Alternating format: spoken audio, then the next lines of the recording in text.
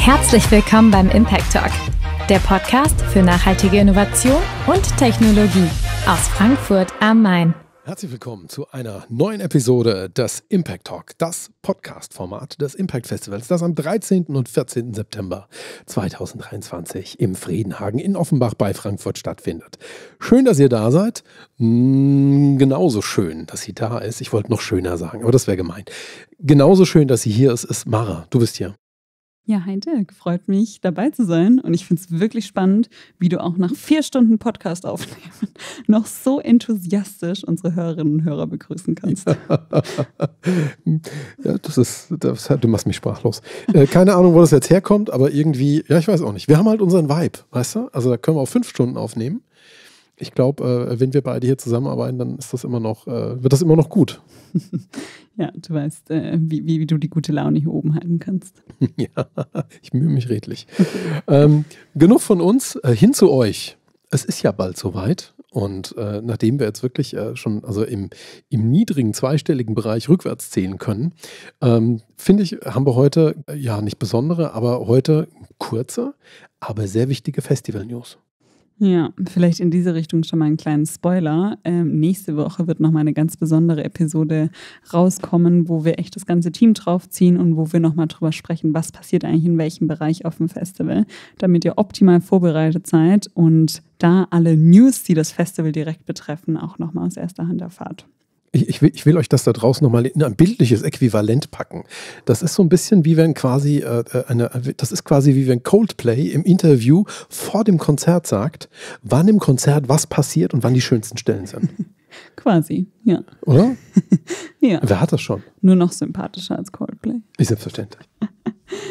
nee, ich habe euch trotzdem nochmal News mitgebracht. Und zwar ganz brandaktuell morgen findet unser nächster Impact Connect und Learn statt. Und zwar haben wir da nochmal eine Kollaboration mit der Lea Hessen, das ist die Landesenergieagentur.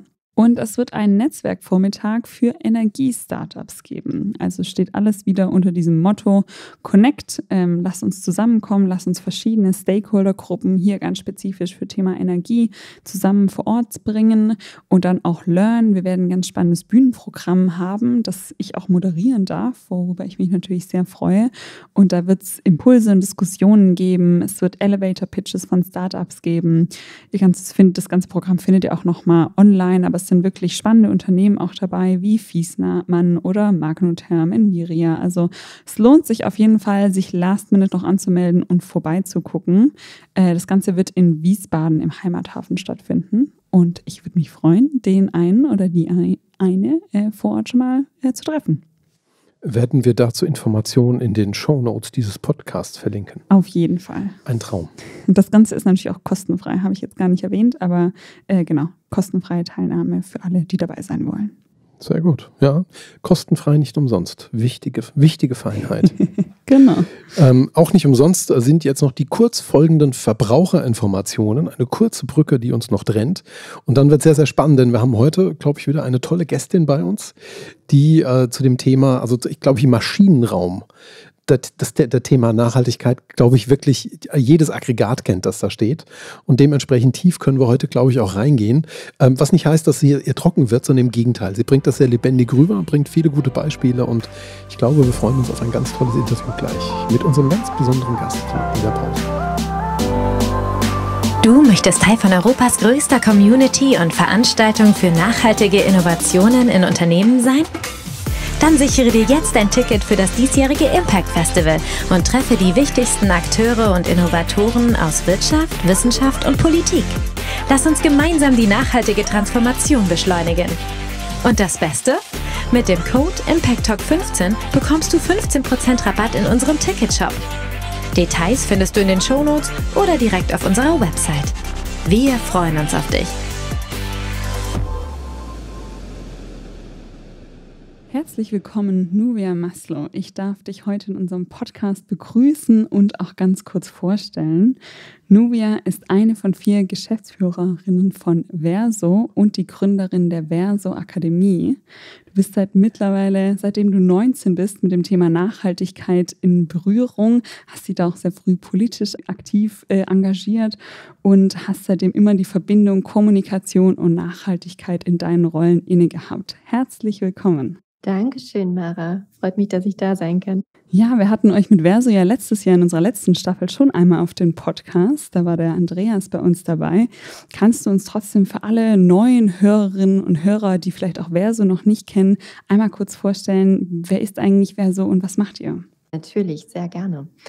Also Verso ist angetreten, um die nachhaltige Transformation von Unternehmen, insbesondere von mittelständischen Unternehmen, wirklich zu beschleunigen und ähm, ist hier als ganzheitlicher Partner unterstützend mit dabei, angefangen vom Nachhaltigkeitsbericht über die Nachhaltigkeitsstrategie äh, bis hin eben auch zu unserem, ja, zu unserem Ursprung und auch unserem Hauptthema eben der Sustainability Software, die sehr, sehr ganzheitlich unterwegs ist. Ähm, Treibhausgasbilanzierung und so weiter. Also sozusagen alles, was ein Unternehmen brauchen kann im Bereich Nachhaltigkeit. Dabei begleiten wir. Ja, super spannend. Und ich habe ja gerade schon angekündigt, du hast auch Diverso Akademie gegründet. Was steht da dahinter? Genau, also Diverso Academy, wenn du fragst, was steht da dahinter, da stand vor allem die Idee dahinter, ähm, dass ganz, ganz viele Nachhaltigkeitsverantwortliche und auch die, die eigentlich noch gar nicht so verantwortlich waren vor einigen Jahren, aber trotzdem, wir nennen die immer gerne Zukunftsmacherinnen und Macher in den Unternehmen, also aus ganz unterschiedlichen Rollen kommend, sich für Nachhaltigkeit nachhaltige Transformation eben einsetzen. Ja, vor einigen Jahren ähm, gab es einfach da ganz, ganz wenig Budget noch dafür, um irgendwie unsere Hilfe auch in Anspruch zu nehmen. Und jetzt kommen wir natürlich mit Verso 2010 ja bereits gegründet und an den Start gegangen. Academy ist sozusagen unser Ventil, wo wir ähm, ja all die Jahre, all die Erfahrungen ähm, reingepackt haben und zu einem sehr, sehr stark praxisorientierten Programm zusammengeflochten haben, das so Step by Step quasi die Teilnehmerinnen und Teilnehmer ähm, durchguidet durch den Nachhaltigkeitsmanagement-Prozess und eben auch so wirklich super hands-on-Material einfach dabei ähm, hat, weil das ist, wie gesagt, also dient unserem größeren Ziel, da einfach wirklich eine Transformation im Unternehmen beschleunigen zu können. Und das geht eben auch viel durch Wissen. Ich bin ja selber Kunde eurer Akademie geworden. Ich habe mich äh, letztes Jahr dafür entschieden, nachdem Andreas hier wirklich sehr, sehr äh, plastisch die Werbetrommel gerührt hat und mich auf die Akademie aufmerksam gemacht hat, habe ich diesen, diesen Kurs in Sachen Nachhaltigkeitsmanagement gemacht. Ich habe ihn noch nicht abgeschlossen, muss ich gestehen. Was? Ja, ja, ja, ja, doch. War aber sehr schön, weil auch die Module zeitlich ein bisschen versetzt äh, immer geliefert wurden, ähm, was ich sehr schön fand. Äh, hat allerdings bei mir das Problem gehabt, dass ich dann so den, ich wollte das an einem Tag durchtarocken und hatte dann so ein bisschen das Problem, dass ich genau den einen Tag nicht hatte. Insofern bin ich immer noch ein bisschen, bisschen hinten dran, aber ich habe jetzt schon viele Lektionen durch. Ich muss ganz ehrlich sagen, es ist ein wirklich sehr, sehr gutes Angebot, weil den natürlich auch sehr niedrigschwellig ähm, wirklich Menschen und Unternehmen da abholt, die vielleicht für das Thema erstmal, erstmal eine Sympathie mitbringen. Also die merken, das ist wichtig oder es ist mir wichtig oder es ist ein Punkt, der mir einfach auch unter die Haut geht, der mich selber aktiviert.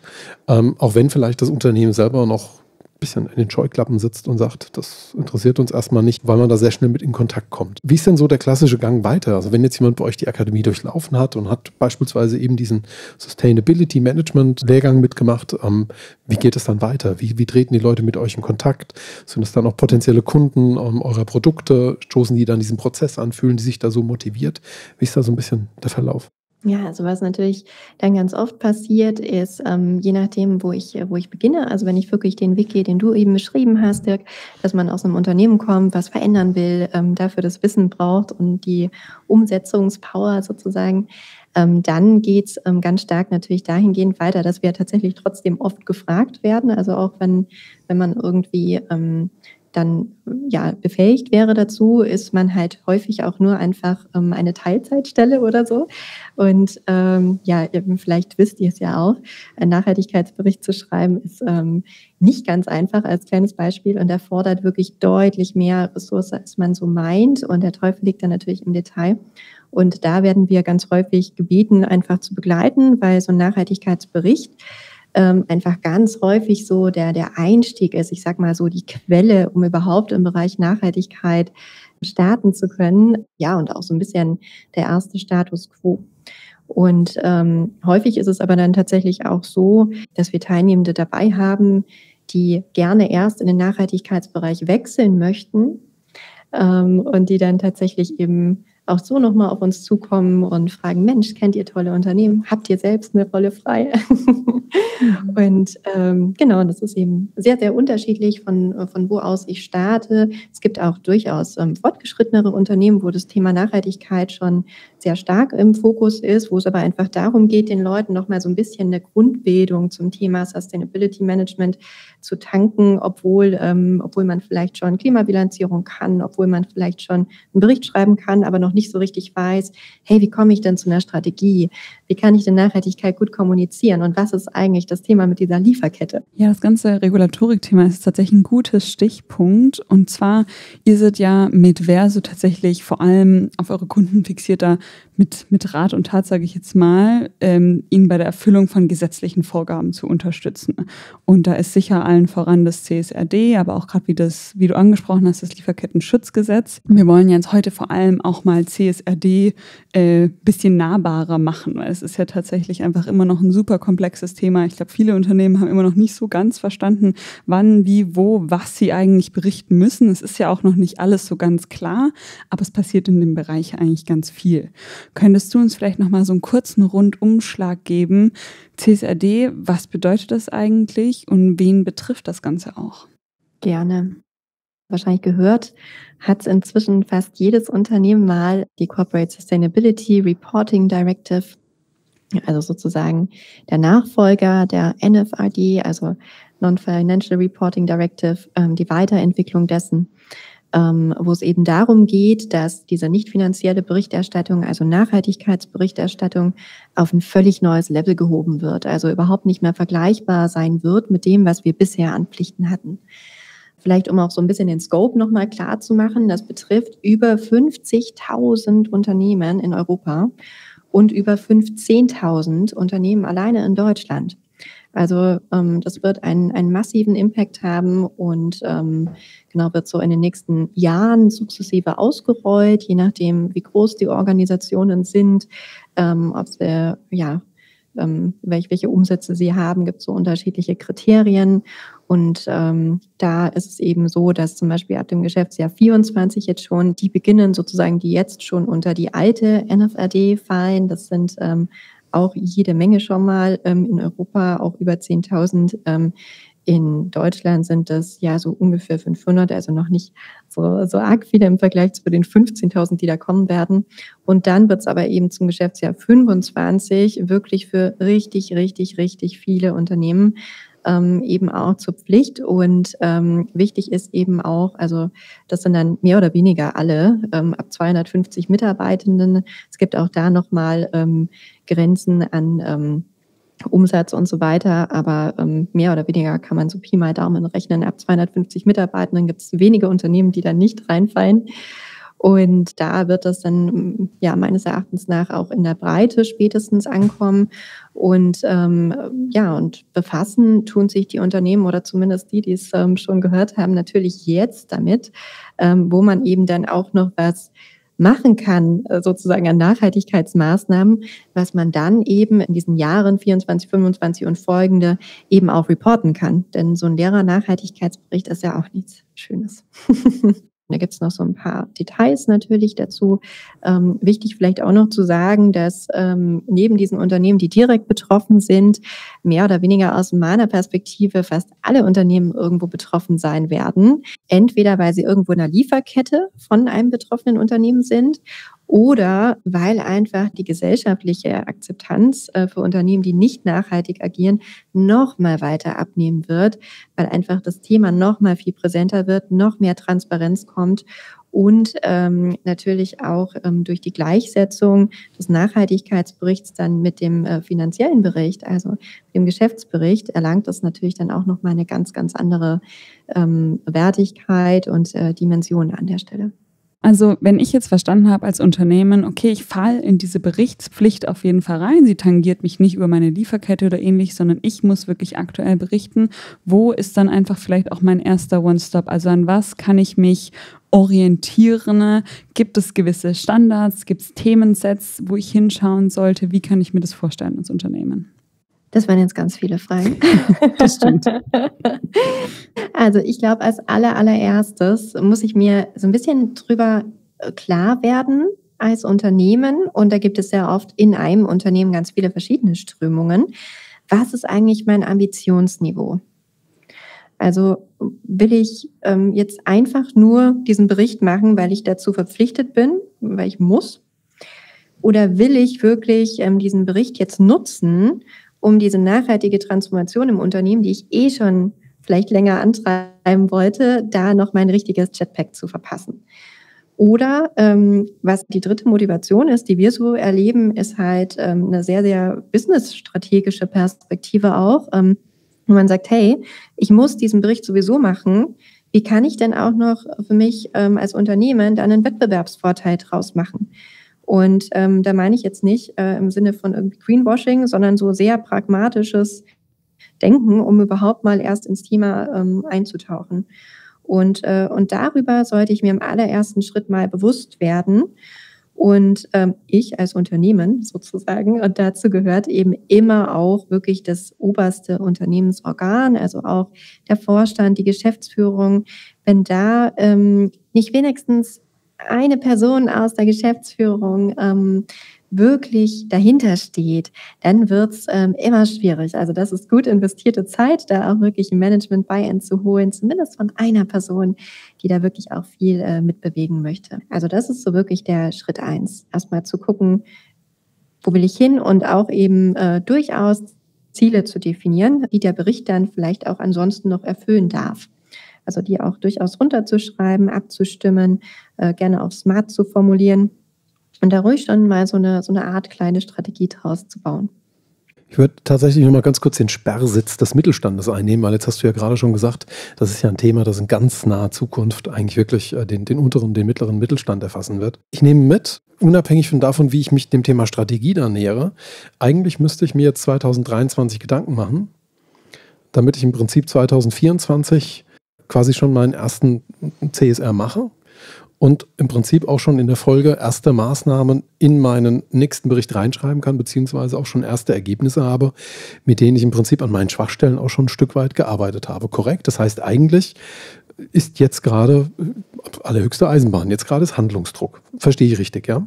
Absolut. Und eigentlich der richtige Zeitpunkt zu beginnen ist eigentlich gewesen vor vielen Jahren oder zumindest vor einigen Jahren. Und äh, wenn ich das eben noch nicht gemacht habe, es haben ja auch viele Unternehmen schon erste Schritte ähm, und, und wissen es ja teilweise gar nicht so richtig, was da schon alles ist. Ja, und wenn ich aber da wirklich noch nichts gemacht habe oder nichts Ernsthaftes, dann ist wirklich jetzt höchste Eisenbahn ähm, tätig zu werden dass ich ähm, nicht nur compliant bin, sondern dass ich eben auch wirklich mehr damit bewegen kann, egal ob äh, impactseitig, businessseitig oder am besten ist ja immer beides gleichzeitig.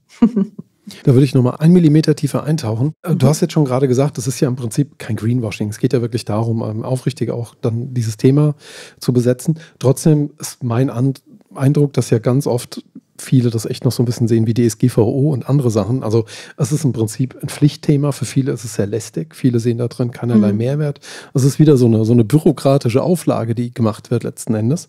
Aber wir wissen ja auch jetzt schon, ähm, dieses Thema CSR wird ja von ganz vielen Stellen auch konsumiert. Also es geht nicht darum, einen Bericht zu machen, der dann eben mit der Bilanz irgendwo in einem Anzeiger veröffentlicht wird, sondern es gibt ja auch ganz viele Institutionen, die diesen Bericht dann lesen und die damit auch wiederum mh, Interaktion ableiten, beziehungsweise daraus auch Sanktionen ableiten. Also vielleicht könntest du mal erklären, einfach jetzt auch so, ne, es gibt immer, es gibt immer zwei Motivatoren. Ne? Das eine ist Lust und das andere ist vielleicht auch ein bisschen Angst. Jetzt wollen wir mal für eine Sekunde ganz zart die Angst penetrieren was machen denn externe Stellen mit diesem Bericht, den Unternehmen dann abgeben müssen? Und was lesen die eventuell auch aus einem dezidierten guten Bericht und was lesen die vielleicht auch aus einem schlechten Bericht oder aus, mhm. ähm, ja, aus fehlenden Maßnahmen, aus einem fehlenden Bericht heraus? Ähm, da war jetzt auch ganz viel drin.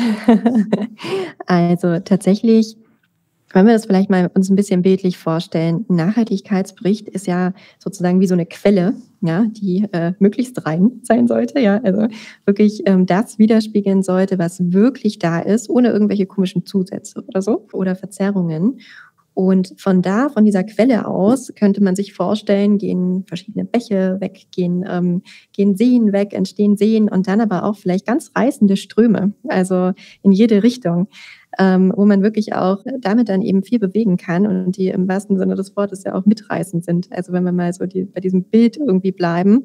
Und das kann natürlich in jede Richtung gehen. Also ähm, das kann super, super, super positiv sein.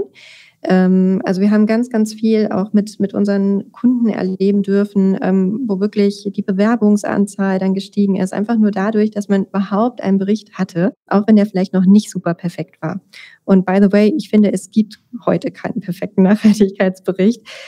Ähm, und es gibt auch kein völlig nachhaltiges Unternehmen aus meiner Perspektive. Deswegen also ähm, äh, ein bisschen Demut, aber ansonsten auch ruhig sich trauen, dann eben auch ähm, das zu erzählen, was man tut oder was man eben auch noch nicht tut. Und damit wirklich dann auch mit dieser, mit dieser Aufrichtigkeit kann man schon wahnsinnig viel erreichen, weil man überhaupt diese Transparenz geschaffen hat. Und da ähm, ja, äh, gibt es natürlich unterschiedlich, also kommt so ein bisschen auf den Unternehmenskontext an, wer dann da, also äh, was ist vielleicht auch, du hast jetzt auf Angst gespielt, Dirk, ähm, was da äh, wie angeguckt wird. Es gibt natürlich grundsätzlich äh, Unternehmen, die gäbe es besser nicht, wenn man nur nach Nachhaltigkeitskriterien geht. Ja? Und da gibt es ja gar nicht so wenige davon. Und ähm, es gibt ein paar, auf die wird natürlich immer ganz besonders geguckt. Ähm, und, und da kann das natürlich auch immer irgendwie mal nach hinten losgehen, vor allem wenn ich so ein bisschen die Sachen schöner erzähle, als sie vielleicht eigentlich sind. Deswegen ähm, mein, mein Tipp vielleicht auch an der Stelle ist wirklich, Daten, Daten, Daten. Also ähm, Nachhaltigkeitsbericht ohne Daten ist eigentlich kein Bericht in dem Sinne. Und ähm, abgesehen davon, dass es ja durch die CSRD eh in ähm, vielerlei Hinsicht gefordert ist, hilft das auch jetzt schon massiv, weil ähm, nur was ich wirklich messen kann, kann ich dann am Ende des Tages eben auch managen, entwickeln und, ähm, und auch verstehen, okay, in welche Richtung bewege ich denn mich als Unternehmen und habe ich denn äh, mehr positiven oder negativen Impact gemacht. Da ist wirklich so ein, so ein Problempunkt auch, äh, warum so viele Unternehmen ähm, auch, ich sag mal, diese Daten nicht so richtig oder auch den Bericht dann, der daraus entsteht, gar nicht so richtig nutzen können, ist eben, weil die Daten in ja, tausend unterschiedlichen äh, ja, jetzt möchte ich nicht nochmal Quellen sagen, weil das meine ich damit nicht, aber so an ganz unterschiedlichen Orten im Unternehmen liegen und teilweise einfach fundamental anders sind. Also da gibt es dann einen Verein und die gleiche Kennzahl sozusagen zwei, drei, vier unterschiedliche Werte. Siehe zum Beispiel ähm, ja, Geschlechterverteilung im Unternehmen oder so, ähm, solche Dinge, Diversitätskennzahlen. Und wenn man da dann immer erst suchen muss und gucken muss, dann wird das schwierig mit so einem Bericht. Deswegen, ähm, das ist mein Tipp Nummer eins, wirklich halt die Daten erstmal zusammenzukriegen und auch verifiziert zu bekommen, klare Zuständigkeiten auch im Unternehmen finden, weil Nachhaltigkeit ist tatsächlich immer ein Team-Game. Also auch Nachhaltigkeitsbericht kannst du nicht alleine ähm, als Nachhaltigkeitsmanagerin oder Manager irgendwie aufsetzen. Dementsprechend ähm, das vielleicht als kleinen Tipp nebenbei, da immer zu gucken, rechtzeitig die Leute in place zu haben und klare Zuständigkeiten, wer hat denn hier die, die wirklich wahren Daten und das dann alles an einem äh, Ort der Wahrheit sozusagen auch aufzubewahren.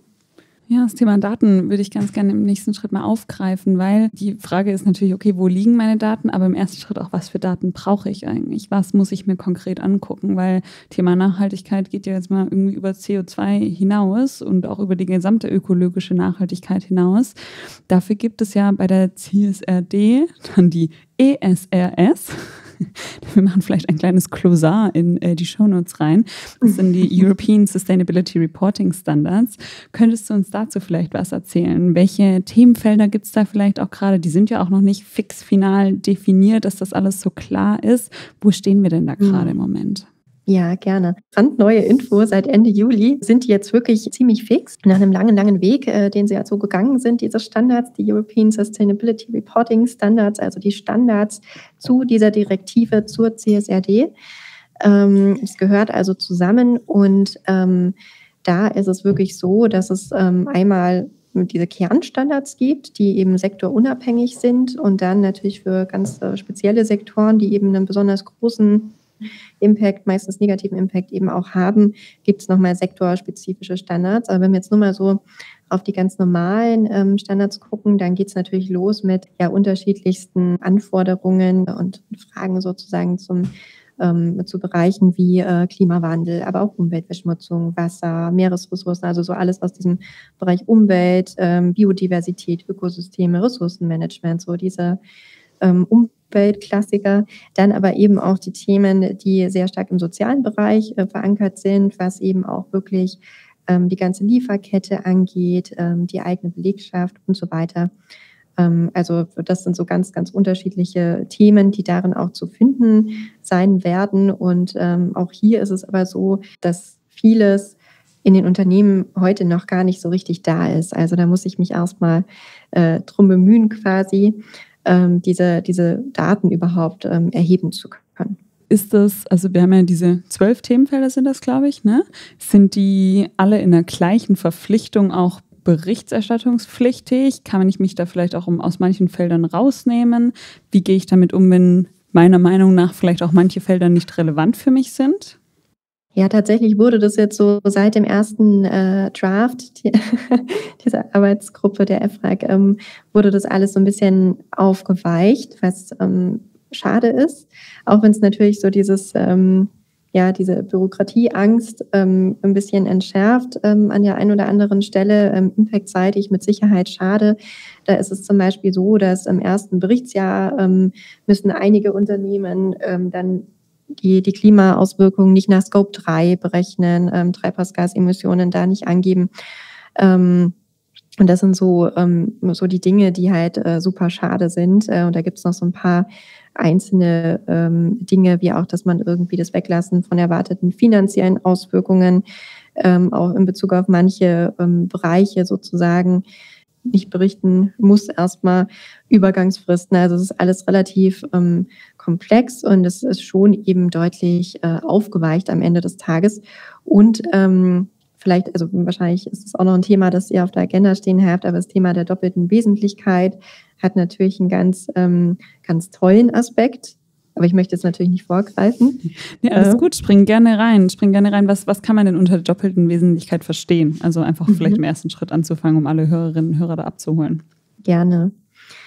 Also es gibt ja diese Inside-Out-Perspektive und die Outside-In-Perspektive mit Unternehmen und allem, was so drumherum los ist. Und das ist auch sozusagen schon das Doppelte an der Sache. Das bedeutet im, äh, im Klartext oder als Beispiel so, ich schaue nicht nur an, was macht Klima mit meinem Unternehmen, sondern ich schaue auch, was macht mein Unternehmen mit Klima und äh, gucke eben nicht nur sozusagen, was sind die finanziellen Auswirkungen jetzt für mich unmittelbar, sondern ähm, gucke eben auch, was habe ich denn als Unternehmen für einen Impact. Und das ist ähm, tatsächlich gar nicht so einfach, diese Analyse zu fahren. Das machen wir gerade unwahrscheinlich viel mit, äh, mit Unternehmen zusammen, um da wirklich einen guten Überblick hinzubekommen, der eben auch repräsentiert, also Wesentlichkeit, was ist wesentlich, also wo besteht Impact in welchen Themen. Wenn ich also beispielsweise ähm, ein ja, produzierendes Unternehmen bin, Maschinenbauunternehmen oder so, und dann sage ich mir, Mensch, ich mache jetzt Nachhaltigkeit und ich setze dabei ähm, total auf äh, Bienen auf den Dächern und äh, gleichzeitig auf, ähm, ja, weiß ich nicht, äh, irgendwas, ähm, äh, Papierreduktion ähm, in den Büros ähm, wobei es ja ganz wenige Büros da dann entsprechend nur gibt, äh, nehmen wir mal an, äh, dann ist das nicht wesentlich, weil dann, ähm, dann ist das wirklich, also Wesentlichkeit hat auch ganz viel mit, mit Greenwashing, gewollt oder ungewollt zu tun. Ob ich halt wirklich da anpacke, wo ich einen Impact haben kann oder da, wo ich mir denke, ach Mensch, schön, habe ich was getan, so fürs eigene Gewissen. Und dann kann ich im Prinzip über diese Wesentlichkeitsanalyse ja dann auch identifizieren, welche Standards oder Themenfelder sind für mich dann eigentlich auch relevant und welche nicht, oder? Genau, und das ähm, wird man eben auch mit der CSRD müssen und eben auch in doppelter Hinsicht müssen. Jetzt ist es, ähm, hat es natürlich eine, eine Licht- und eine Schattenseite, weil einerseits habe ich dann eben auch ähm, ja, Themen, über die ich mehr berichten darf oder Themen, die ich halt dann als unwesentlich ansehe und äh, wo ich vielleicht wieder so ein keine Flucht dann habe mhm. an der einen oder anderen Stelle. Und dann ähm, hat es aber natürlich auch einen total tollen Impact, wenn man das wirklich ernst nimmt und, ähm, und dann eben auch die wesentlichen Themen tatsächlich rausfindet und, ähm, und dann auch angeht. Mhm. Ich habe äh, eine Sache noch im Kopf, die mir, die mir die ganze Zeit immer wieder präsent wird.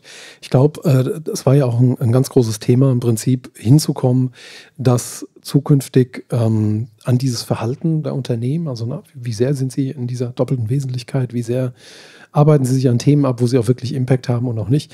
Ähm, es spielt ja auch, glaube ich, das große Thema ähm, der Kreditvergabe immer wieder eine Rolle. Ne? Es geht ja um Kapitalkosten. Mhm.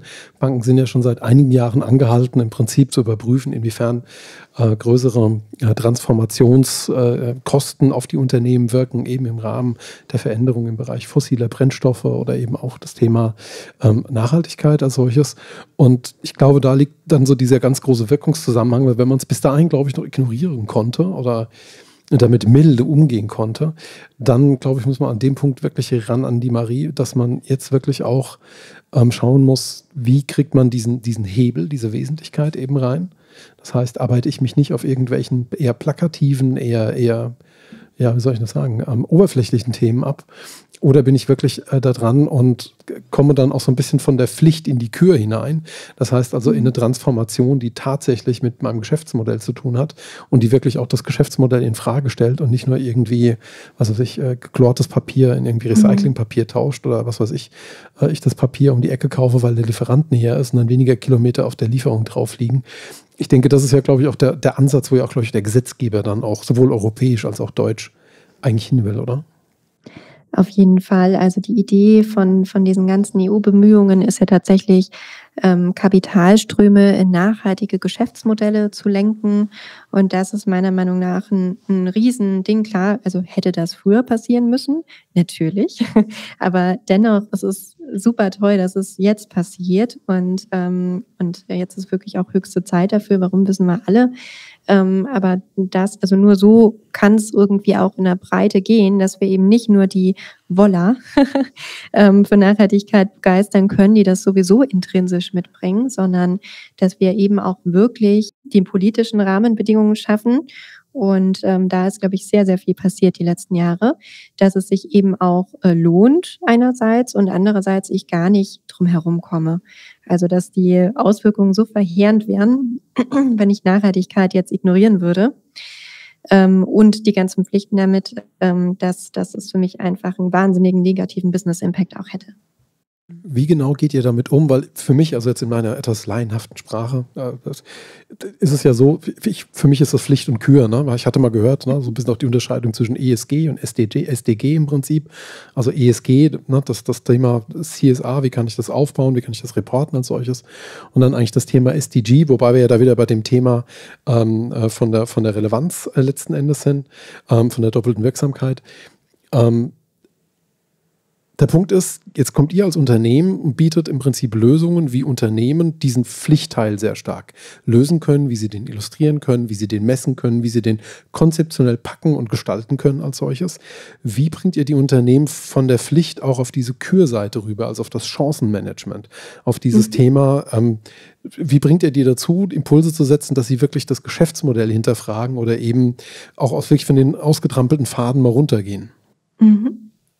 Ja, sehr gute Frage. Also tatsächlich machen wir das sehr, sehr, sehr am Anfang, dass wir mal so sagen, okay, was sind denn jetzt eigentlich die Chancen und Risiken dieser ganzen Sache? Und also das ist sozusagen auch ein bisschen nach der Zielsetzung ähm, und aufbauend auf der Zielsetzung, dass man sich das eben ganz genau anguckt. Wenn sozusagen da es noch nicht irgendwie durchdringt in dem Unternehmen, dann ist es meistens so, dass mit dem ersten veröffentlichten Bericht dann einfach die Auswirkungen sehr spürbar werden. Also wie vorhin schon gesagt, dass auf einmal die, äh, die Bewerberanzahlen äh, steigen, dass auf einmal ähm, ja die, äh, die Kündigungsraten sozusagen oder die Verweildauer im Unternehmen der eigenen Mitarbeitenden bleibt. Die manche haben ja auch einen Employee Net Promoter Score zum Beispiel wie auch ähm, so dass der aussteigt. Also dass da einfach mehr Bindung und mehr Identifikation ähm, entsteht, ganz viel. Das ist was, was äh, womit ja alle Unternehmen zu kämpfen haben. Ähm, gerade in dem in den Bereichen, wo vielleicht der der Sinn und der Purpose jetzt nicht so auf der Hand liegt. Und am Ende des Tages, glaube ich, ähm, kann man sagen, Menschen, die gut gebildet sind, die gut ausgebildet sind, die Verantwortung in Unternehmen übernehmen wollen, also die kurzum, die man als Arbeitnehmer ja haben möchte im Unternehmen, die wollen nicht mehr Teil des Problems sein, die wollen Teil der Lösung sein. Und ähm, alleine da ähm, merken die ersten Unternehmen dann ähm, sofort eigentlich Auswirkungen und haben dann so ein bisschen Blut geleckt und wollen dann einfach mehr. Und ähm, da sind wir allerdings noch lange nicht bei der Kür, sondern da sind wir dann eher so bei den ganzen Zwischenschritten, dass man sagt, okay, wie kommen wir denn jetzt zu einer Nachhaltigkeitsstrategie? Und äh, wie kann diese Nachhaltigkeitsstrategie auch nicht einfach nur als ja, Satellit unterwegs sein, sondern wie kann die wirklich integral in der Unternehmensstrategie stattfinden? Also wie kann das wirklich integraler Bestandteil auch davon sein? Ähm, das, das ist so einer der Schritte, aber eben auch, was können wir denn eigentlich noch tun? Also was können wir noch an Zielen ähm, festlegen, jetzt Unterziele sozusagen, Maßnahmen? Ist eigentlich unser Management, gibt es da Zielkonflikte im Sinne von Nachhaltigkeit versus äh, Umsatz oder sowas, die wir eigentlich nicht haben wollen? Also Nachhaltigkeitsziele, by the way, gehören für mich auch immer an die äh, Kompensation ähm, an die variablen Gehaltsbestandteile sozusagen geknüpft. Ähm, also das sind so äh, diese Dinge, wo man dann immer mehr merkt, ah, okay, da passiert was. Und dann macht man vielleicht mal die, ähm, weiß ich nicht, die Travel Policy neu, wenn man jetzt ein Dienstleistungsunternehmen ist, das irgendwie noch von, ja, weiß ich nicht, äh, weiß ich nicht, von äh, Köln nach Hamburg fliegt oder so. Ähm, es ist äh, fieses Beispiel jetzt. Ähm, und ja, das ist dann einfach, also da, da merkst du einfach wahnsinnig viel. Und häufig merkst du es übrigens sogar an ähm, ganz starken Kosteneinsparungen oder ähm, an Umsatz, der einfach hochgeht.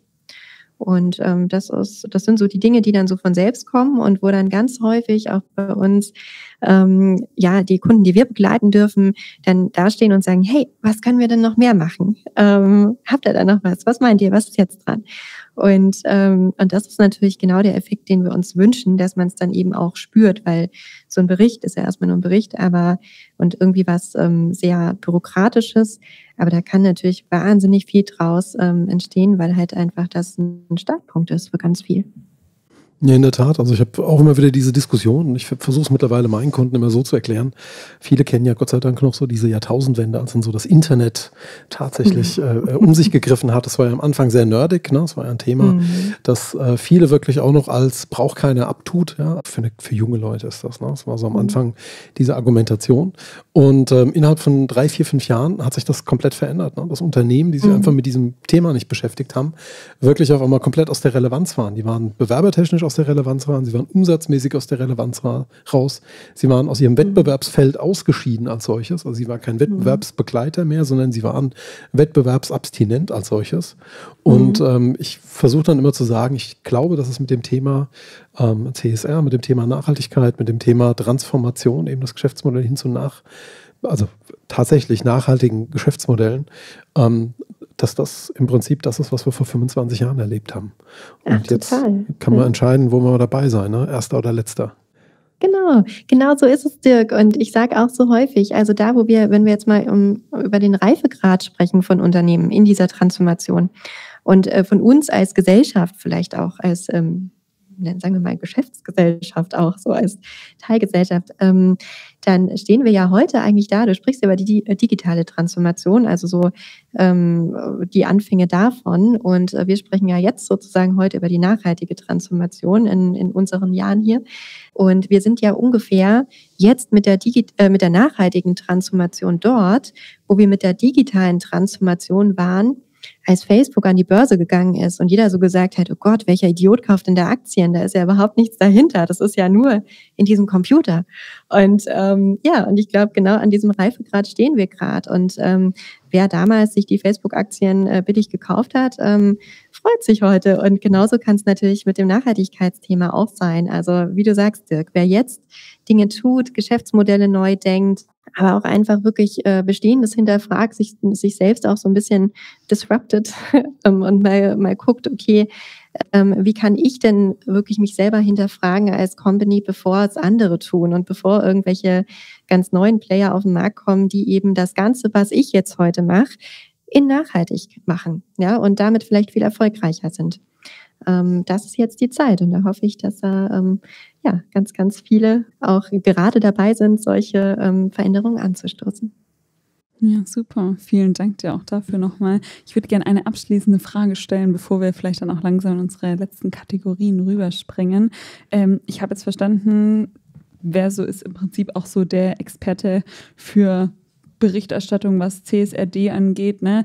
Wir, wir als Neosphere gehen ja auch gerade mit euch durch den Prozess mit unserem Nachhaltigkeitsbericht. Das heißt, ich, ich weiß aus erster Hand, ihr kennt euch auch mit den, mit den anderen Standards, sei es jetzt GRI oder der DNK, ähm, aus und, und unterstützt da ganz fleißig. Die Academy haben wir am Anfang einmal thematisiert. Ähm, sind wir damit quasi bei Verso am Ende? Was gibt es vielleicht auch gerade, was Regulatorik angeht, noch weiter? Ist noch irgendwas in eurem Portfolio, was du jetzt uns gerne noch mitgeben würdest? Ja, also es geht grundsätzlich sozusagen, solange das Thema Nachhaltigkeit weitergeht, geht es auch immer bei, bei Verso weiter. Ähm, wir haben den Anspruch, wirklich auf jedem Schritt da zu begleiten. Wir können das heute auch. Wir konnten noch nie etwas irgendwie nicht ähm, begleiten oder beantworten. Und da sind wir auch ein bisschen stolz drauf, ehrlich gesagt. Ähm, und, ähm, und da bleiben wir eben auch dran. Und ähm, nicht zuletzt, ähm, dadurch gelingt uns das jetzt heute noch besser, dass wir uns ähm, einerseits mit Sustainable äh, zusammengeschlossen haben, wirklich, dass die Software eben auch fürs Thema ähm, Lieferkettentransparenz, die eben genau das Lieferketten-Sorgfaltspflichtengesetz bedient. Ähm, wir sind schon ganz, ganz lange ähm, zusammen unterwegs auf dem Markt, kennen uns wahnsinnig gut und haben uns eben dieses Jahr auch wirklich zusammengeschlossen, was uns natürlich nochmal eine ganz andere Power gibt und eben auch ähm, unseren Kunden nochmal eine ganz andere Möglichkeit, da ähm, alles äh, vereinfacht und aus einer Hand zu bekommen. Ähm, also das ganze Thema Lieferkettentransparenz ist natürlich ein riesiges, wo wir super froh sind, dass wir ähm, da jetzt gemeinsam unterwegs sind. Und nicht zuletzt haben wir uns dieses Jahr eben auch ähm, nochmal ähm, zusammengeschlossen mit äh, Silvester. Ähm, das ist eben auch äh, ein ganz ähm, tolles Unternehmen, die auch schon seit, ja, eigentlich seit ich glaube 2006 oder so, haben sie ähm, so richtig mit Nachhaltigkeit begonnen, also echt auch irgendwie total äh, umtriebig sind und äh, ursprünglich aus dem Bereich Geschäftsberichterstattung kamen. Und dadurch, dass eben diese Berichte ja auch immer integriert werden, ist natürlich, sind wir auch da total stolz, ähm, das anbieten zu können, dass wir ähm, einen Geschäftsbericht und einen Nachhaltigkeitsbericht oder eben einen integrierten Bericht aus einer Hand auch bieten können. Und ähm, so ähm, ja, gibt es da eigentlich aktuell nichts, ähm, was es nicht gibt ähm, bei uns. Und wir freuen uns da natürlich auch euch ähm, noch weiter zu begleiten und, ähm, und noch ganz viele tolle Unternehmen, die was bewegen möchten. Ja, sehr cool. Mega spannend. Alle, die Verse persönlich kennenlernen, ähm, ihr seid auf dem Festival dabei als Aussteller, ihr seid auf Bühnen unterwegs, also ihr habt die maximale Präsenz auch auf dem Festival. Ähm, da im Zweifel einfach am Stand vorbei und ähm, alle Fragen mitbringen. Immer gerne. Wir freuen uns auf den Austausch, auf, ähm, auch nicht nur zu dem, was wir anbieten, sondern ganz allgemein. Wir freuen uns total, ähm, dass wir da einfach alle gemeinsam lernen und ähm, ja, und auch aufs Wiedersehen mit euch, Mara und Dirk. Dankeschön. Mega cool. Dann springen wir in die nächste Kategorie rüber, oder? Ja, wir, wir bleiben bei Fragen, würde ich sagen, oder? Jetzt ging es gerade um Fragen. Wir machen mit Fragen weiter. Äh, unsere Kategorie, die wir gerne pflegen, ist, äh, wir bieten unseren Gästen immer an, eine Standpauke zu halten. Das klingt jetzt erstmal sehr martialisch, aber mit der Standpauke ist im Prinzip gemeint, dass du gerne ähm, eine Person, eine Personengruppe, ein Ding, ein Es, ein irgendwas äh, dir mal vorknöpfen kannst auf liebevolle und zärtliche Art und Weise und äh, uns gerne mal deine Gedanken sagen kannst, wo du sagst, das ist eigentlich ein Thema. Entweder es nervt dich oder du findest es gut oder ähm, für was möchtest du mal einen Satz mit einem Ausrufezeichen machen? Mhm.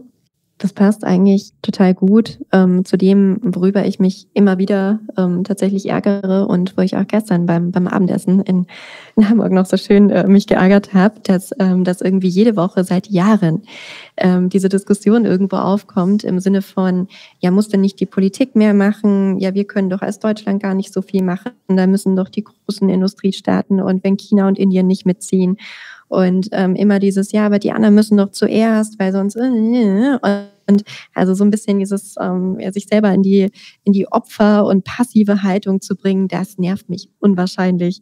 Also ich finde, wir sind alle in der Pflicht und es geht nicht darum, dass man entweder das eine oder das andere macht im Bereich Nachhaltigkeit oder dass man jetzt, äh, ist ja auch ganz oft diese Diskussion, ja, es müssen ja die Unternehmen richten, ja, nee, es müssen, muss doch die Privatgesellschaft, äh, die Privatpersonen richten und genau diese ähm, Debatte nervt mich, weil das ist einfach eine, die vollkommen falsche Fragestellung, ähm, weil wir müssen alle jetzt an allen Enden einfach tun und nicht mehr die Energie drauf verschwenden, dass wir sagen, ja, also ähm, privat, da fliege ich jetzt schon noch dreimal im Jahr nach Thailand, weil das hat ja eh keine Auswirkungen im Vergleich zu dem, wie ich jetzt irgendwie, ähm, was mein Unternehmen irgendwie äh, fabriziert und oder was in China passiert oder so. Und wir müssen einfach aufhören, uns da zu verstecken und, ähm, und wir müssen einfach, glaube ich, die Dinge jetzt mal annehmen und aufhören, diese blöde Diskussion zu führen, wer jetzt zuerst was tun muss. Wir alle müssen tun, was irgendwie möglich ist, um Nachhaltigkeit voranzubringen. Und ähm,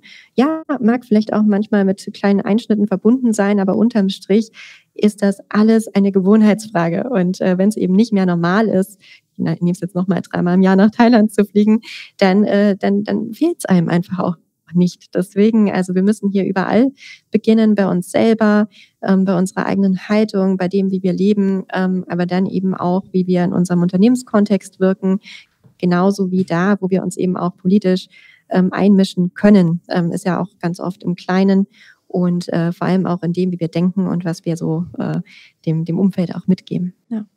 Ja, finde ich, finde ich eine starke Standpauke und auf jeden Fall auch gut. Ähm, ich glaube, das ist oft ja so auch ein bisschen, dass man sagt, okay, ich glaube, Deutschland hat, wenn man den globalen CO2-Fußabdruck nimmt, irgendwie liegen wir bei zwei Prozent, glaube ich, so, ne? Wirkt jetzt vielleicht nicht wie eine signifikante Zahl, aber unsere Bevölkerungsanzahl ist halt nur ein Prozent der Weltbevölkerung. Das heißt, wir leben auf doppelt so großem Fuß. Es ist halt einfach trotzdem so, wir müssen trotzdem unseren Teil mal da reinbringen. Es gibt noch ein anderes, einen ganz anderen Aspekt, den hatte ich ehrlich gesagt nie auf dem Schirm. Also ich habe den selber erst vor, vor 14 Tagen begriffen. Äh, da hat nämlich immer jemand gesagt, es mag sein, dass wir nur 2% des CO2-Ausstoßes emittieren. Der Punkt liegt aber daran, dass wir mittlerweile unsere Werkbank ganz andere Länder der Welt verschoben haben und dort letzten Endes gerade die Schlote rauchen. Also der Punkt ist, würde in Deutschland noch hergestellt werden, was wir in Deutschland konsumieren. Oder was wir eben so, wo wir auch die Wertschöpfung rausziehen, aus all den Autos, die wir bauen, aus all den Maschinen, die wir bauen und die dann doch auch mal im Ausland irgendwie Vorteile haben oder irgendwie gespritztbus werden oder sonst irgendwas, dann wären das auch keine 2% mehr. Und das mhm. betont nochmal unsere Verantwortung, glaube ich. Ja, das Bilanzierung Absolut. ist nochmal ein ganz anderes Thema, ne? Ja. Korrekt. Absolut. Können wir gleich noch einen Podcast dazu erzählen? Ne? Ich ja, sagen, das ist, ich, ich lege ein, leg ein neu, neues Band ein und wir nehmen gleich nochmal auf. Ich erinnere mich an eine ganz ausführliche Hausarbeit in meinem Studium zu dem Thema. Also, Dirk, was ist dann deine Standpauke heute? Ja, ich versuche auch so ein kleines bisschen, ich, ich versuche es augenzwinkert, ich fürchte aber, ich werde wieder zu ernst.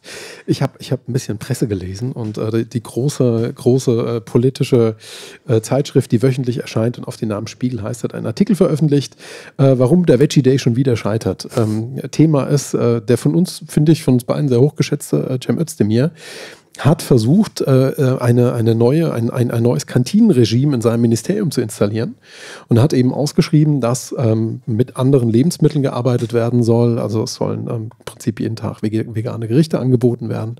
Ähm, tierisches Milch, tierisches Eiweiß separat ausgewiesen werden. Der Fleischanteil, Wurstanteil soll auf maximal 20 Prozent begrenzt werden. Frittiertes maximal zweimal die Woche. Also er hat sehr konkret eigentlich sehr gute Ideen gehabt, wie so eine moderne Kantine eben aussehen könnte, weil seine Partei wiederum erkannt hat, dass eben diese Gemeinschaftsverpflegung ein Riesenhebel ist, um eben auf dieses Thema Tierwohl, gesunde Ernährung etc. etc. dann auch zu kommen.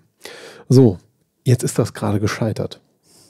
Also diese Ausschreibung ist beendet, weil das schlicht und ergreifend nicht möglich war, in einem Preisrahmen von 3,50 Euro bis 5 Euro den äh, für solche Kartinen üblicherweise gewählten Unternehmen Großkantinen, Verpfleger, äh, es möglich war, das darzustellen. Und das zeigt auf der einen Seite, dass man, glaube ich, diesen Prozess ein bisschen behutsamer steuern muss. Also das ist so die Standpauke in Richtung, Standpauke in Richtung das Ministerium von Tim Özdemir.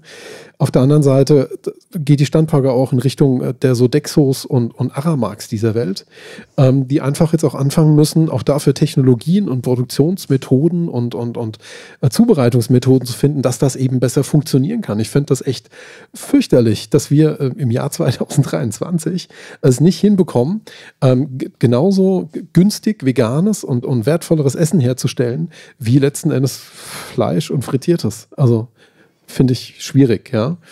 Äh, und die dritte Standpauke ist aber halt auch, und die geht so ein bisschen in uns, in Richtung Verbraucher, ähm, dass wir halt nach wie vor einfach nicht bereit sind für eventuell Dinge, die besser sind und die eben auch erstmal ein kleines Premium brauchen, damit sich Industrien etablieren, damit eben Produktionswege gefunden werden können. Dass wir halt auch nicht bereit sind, irgendwie so mal 50 Cent oder einen Euro mehr zu bezahlen. Klar, am Ende des Tages, wir reden hier von der Kantine, das Bundeslandwirtschaftsministeriums. Ähm, keine Ahnung, wie die da verdienen und ob die sich das hätten leisten können als solches. Aber ähm, ja, das nächste Mal geht es halt dann, was weiß ich, um die Kantine bei Mercedes irgendwo in Sindelfingen oder sonst was. Und ja, deshalb ist meine Standpauke eine, eine multidimensionale. Ähm, dass das eigentlich schade ist, dass solche Chancen uns entgehen und jetzt sollten wir das Beste draus machen, nämlich lernen, was wir besser machen können. Standpauke Ende. Es tut bei mir direkt äh, zwei Podcast-Folgen auch wieder zurück ins Gedächtnis bringen. Zum einen True Cost Pricing, äh, mit dem Henning von Tuesday. Ähm, genau. Da war ja jetzt auch vor kurzem erst, oder ja, bis der Podcast rauskommt, ein bisschen wieder her, aber die Aktion von Penny, die ja ihre Artikel tatsächlich auch, ich glaube, zehn Artikel auf wahre Preise gesetzt haben und da wirklich mal Umweltexternalitäten und auch soziale Externalitäten damit einbezogen haben. Ähm, so, ne, da, da fängt man, da hat man halt irgendwie so ein System geschaffen, wo man jetzt so mit diesen Symptomen auch zu kämpfen hat und ähm, das super schwierig ist, dann so kleine, kleine Stellschrauben schon im System irgendwie mal zu wandeln handeln. Ne? Also mega komplexes Topic. Ich glaube, ich würde ein bisschen widersprechen, dass der Verbraucher sich gegen, dagegen stellt, mehr Geld auszugeben, weil ich glaube, dann würde das Ganze, was bei der Rügenwalder Mühle zum Beispiel passiert ist, dass diese Produktwahl sich so arg gewandelt hat zu veganen, vegetarischem Angebot, das ja oft teurer ist ähm, als die, die echte Wurst, sonst hätte das ja so gar nicht funktioniert. Da hast du grundsätzlich recht, aber da tanzen wir natürlich auf der Eisschorle auf dem großen Meer ne, mit diesen Themen. Äh, hatte die Woche wieder mal in einem, einem Nahversorgungsmarkt meiner Wahl dieses wunderbare Erlebnis, dass ich wieder mal in dieses vegane Regal reingegriffen habe. Nebendran ist tatsächlich wirklich sind die Fleischfrikadellen. Und ich habe dann gesagt, hier probieren Sie mal von der Rügenwalder Mühle, die sind total lecker, die schmecken klasse, da merken Sie gar keinen Unterschied. Voll die Werbetrommel, voll, voll der Fanboy. Da sagt er, ja, äh, ganz ehrlich, äh, da kosten bei Ihnen 200 Gramm Frikadellen 3,59 Euro und hier kriege ich für 2,99 ein halbes Kilo aus gutem altem Schweinehack. Da war die Diskussion beendet an der Stelle. Mhm. Ja. Mhm. Aber ich denke, du hast definitiv auch sehr recht. Aber ja, ich ja, glaube. Kein einfaches Thema. Pflicht und Kür, ne? Da sind wir wieder. ja. Wir kommen zu unserer allerletzten Kategorie. äh, liebe Nuvia, und zwar die letzte Kategorie lautet, hast du einen Wunschgast? Gibt es jemand, eine Person, eine Institution, irgendetwas, was du dir auf das Impact Festival wünschen würdest, weil du entweder sagst, das ist eine Person, die passt da genau hin, weil die das gleiche Mindset hat, oder das ist eine Person, die muss da hin, weil die überhaupt gar nicht das Mindset hat, weil, also gibt es irgendeinen Grund, warum du irgendjemand uns empfehlen möchtest, den wir für dich einladen dürfen?